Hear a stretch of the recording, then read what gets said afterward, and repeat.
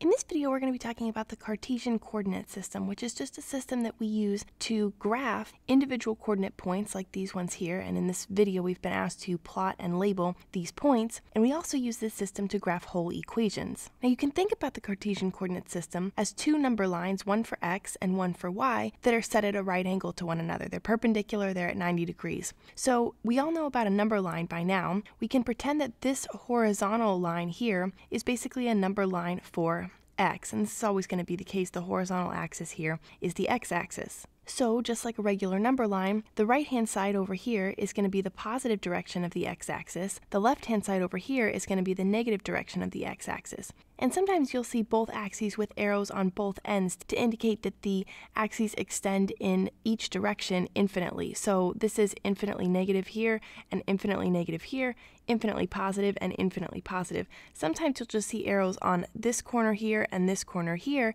because these are the positive directions of the x and y axes. And this is going to be our y axis up here. Now what we're going to do is say that the point where they intersect each other, where the x and the y axis intersect each other, is going to be this point point in the middle, right here. We call it the origin, and it's the point 0, 0. This is the point where x is 0 and y is 0. And then this is going to be the positive direction of the x-axis. So we're going to go out 1, two, three, four, five. Here in the negative direction, this will be negative two, negative four. And this is, remember again, the x-axis. So this is like the number line for x with zero here in the middle, positives on the right, and negatives on the left.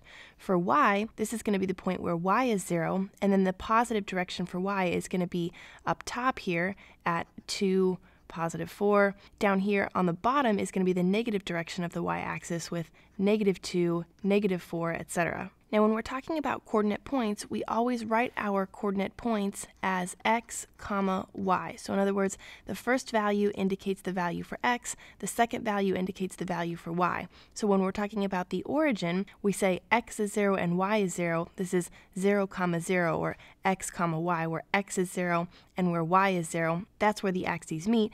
We call it the origin. The other thing to know about the Cartesian coordinate system is that the axes divide the grid into four quadrants. And we start in the upper right hand corner, this is the first quadrant, and then we move our way counterclockwise. This is the second quadrant, the third quadrant, and the fourth quadrant.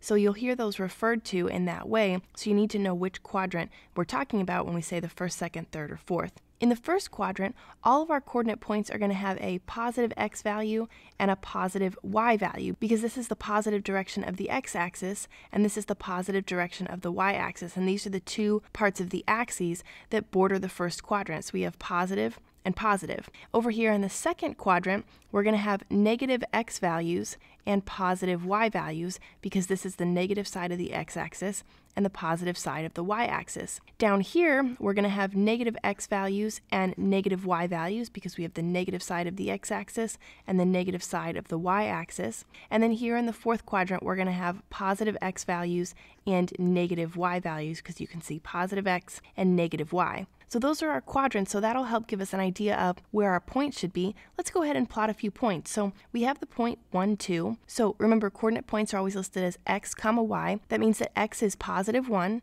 and y is positive 2. So I want to come out here to positive 1 along the x-axis. We always start at the origin, and then we come out to a distance of 1 here along the x-axis in the positive direction because we're looking for positive 1. Then from this point, not from the origin again, but from this point where I'm at right now, I go up two units in the positive direction of the y-axis because this is positive 2. So I come out to positive 1 and then from there straight up to positive 2 and I plot my point right here and this is the point x equals 1, y equals 2, or we just call it 1, 2. What about 3, 0 here? Well, this is going to be x equals 3, y equals 0. So I come out a distance of 3 along the positive direction of the y-axis from the origin. So 1, 2, 3, I'm right here between 2 and 4. So here's 3. And then y is equal to 0. Well, that means that we're going to stay right along the x-axis. We don't go up in the positive direction of the y-axis or down in the negative direction any distance. We don't go anywhere. We just stay right there. So that's going to be the point 3, 0. What about negative 2, positive 1? Well, remember this is xy, so x is negative 2 and y is 1. I start at the origin and I want to go in the negative direction of the x-axis 2 units or over to negative 2 on the number line for x or on the x-axis. So that's going to be negative 2 right here. And then I want to go up positive 1, the positive direction of the y-axis. That's going to be right here. From that point, I go up one unit. This is 1 on the y-axis, so then this point is negative 2, positive 1. And as you can see, that matches the signs that we indicated for the second quadrant here. We knew that our x values would be negative and our y values would be positive, and here we have a negative x value and a positive y value. So negative 1, negative 1. If we look at the signs for each quadrant, we can see that negative 1, negative 1 should be in this quadrant because both x and y are negative, and this is the quadrant where x and y are negative. So let's go ahead and see if it actually is. So we want to start at the origin and go to negative 1 along the x-axis, so that's going to be negative 1 right here. Then from this point, down 1 in the negative direction of the y-axis, and that's going to be right here, negative 1, negative 1, and in fact we can see it is in the third quadrant like we expected. What about 2, negative 3? Well, we're going to go out in the positive direction of the x-axis 2 units here, and then down in the negative direction of the y-axis 3 units. So 1, 2, 3 to right about here. And we want to make sure, whenever we're plotting points, that we stay lined up with each of our lines here. So if you can think about it this way, we came out to positive 2, and we want to make sure that we stay lined up with positive 2, and we want to make sure that we stay lined up with negative 3 here, x equals 2 and y equals negative 3, so that this point accurately represents the point 2, negative 3. So those are just some basics about the Cartesian coordinate system and plotting points in the Cartesian coordinate system. Later on, we'll look at graphing in more detail.